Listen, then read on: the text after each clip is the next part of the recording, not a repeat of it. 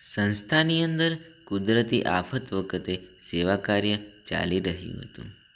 આ દરમિયાન એક દાદા જૂની ધોતી ઉપર બંડી પહેરી રિક્ષામાંથી નીચે ઉતર્યા.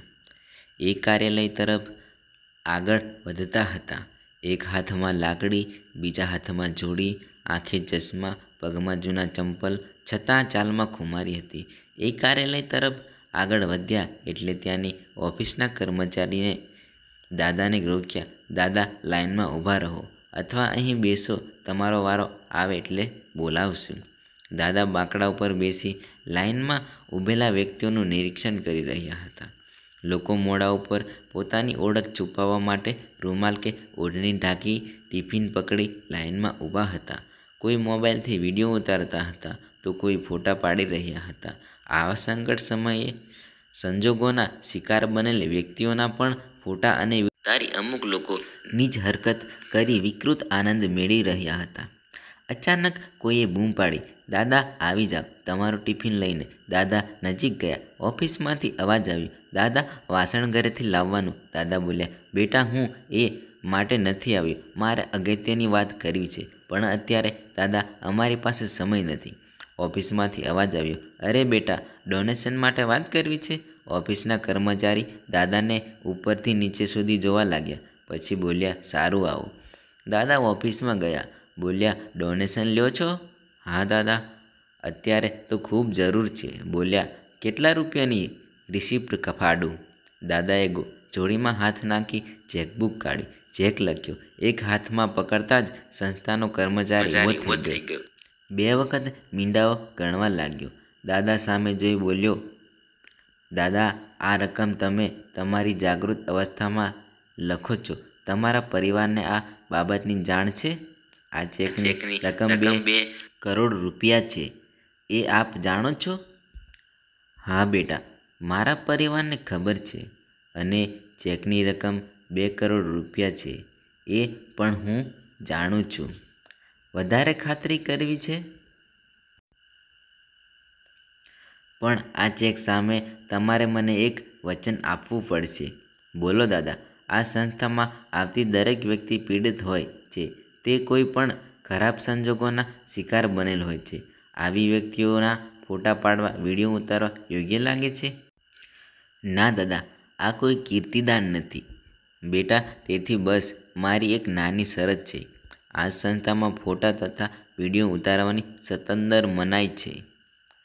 આટલું બોર્ડ મારી દેજો.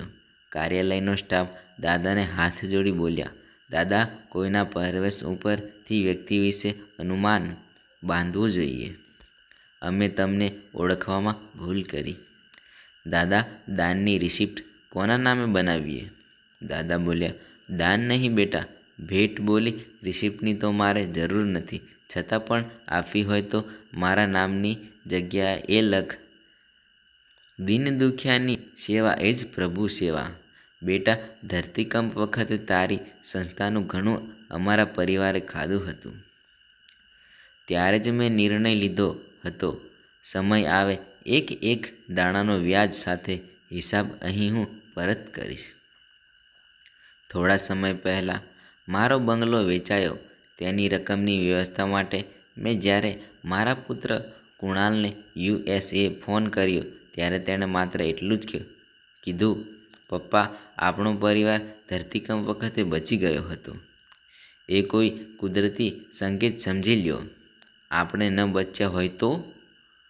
આ મિલકત લાવારીસ જ પડી રહી હોત. જેણે બચાવ્યા, તેને અર્પણ કરી દો જે સંસ્થાનું આપણે ખાધું હતું. તે સંસ્થાને પાછું આપી તમારું ઋણ ઉતારો પપ્પા. અહીં ભગવાને મને ઘણું આપ્યું છે. પુણ્યનું ભાથું ભરી લ્યો, મોડું ન કરતા. જ્યોત સે જ્યોત જલે, સેવાભાવ સંસ્થાઓને કોઈ આપશે તો સંસ્થા ચાલશે. બેટા, હવે જાત ચાલતી નથી. કાયમ માટે હું યુએસ જાઉં છું. આજે આ સંસ્થાને આપેલ વચન પૂરું કરી હું હળવો થઈ ગયો છું.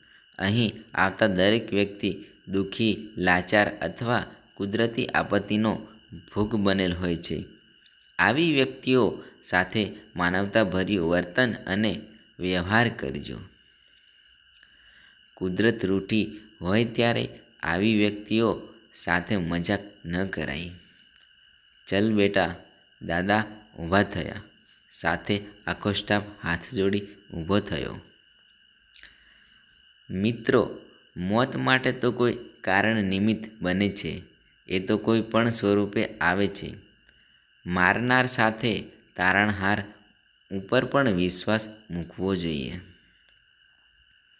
આપણી નજર હંમેશા કોઈ ઘટના વખતે કેટલા મર્યા એ સંખ્યા ઉપર જ હોય છે, પણ કેટલા બચ્યા તેની ઉપર જતી નથી. જો મારનાર માટે ઈશ્વર જવાબદાર હોય તો બચાવનાર માટે કેમ નહીં? પરમાર્થ કરવા નીકળ્યા હો? કોઈ ભૂખ્યાનું પેટ ઠારવા નીકળ્યા હોવ ત્યારે તમારા મોબાઈલથી ફોટા ન પાડતા. નહીંતર તમારા કપડાં જ્યારે ખેંચાશે ત્યારે પ્રભુ ફોટા પાડતો હશે.